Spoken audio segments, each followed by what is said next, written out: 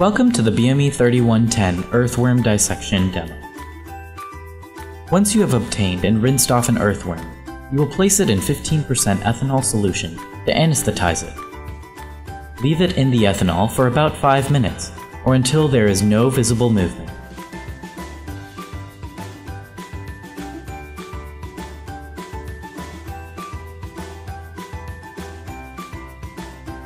Do not leave the worm in the ethanol for too long, or you will over anesthetize it, and you won't get any good data for your contractions.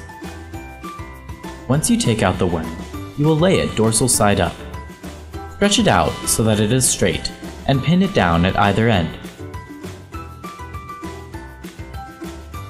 Using the rat tooth forceps, carefully lift up just the skin below the clitellum, and make an incision with the scissors being mindful of not damaging any innards or the intestine. Using the scissors, carefully cut down the worm's skin towards and past the clitellum, exposing the internal organs of the worm.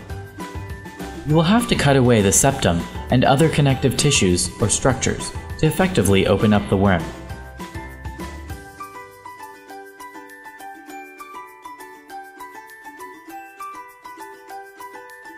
Once past the clitellum, Carefully cut until the crop and gizzard are exposed.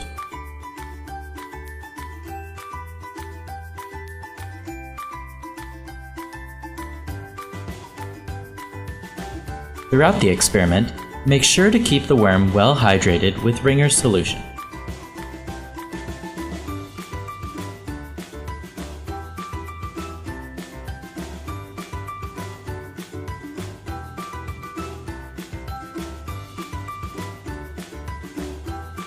The crop and gizzard are easily identifiable as they lie directly below the seminal vesicles of the earthworm.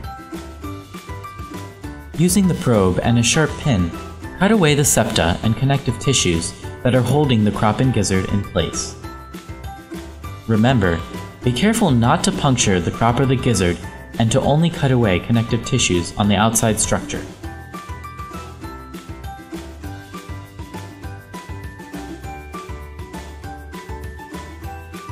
Using the hemostat, take the suturing wire and tie it around both sides of the crop and gizzard.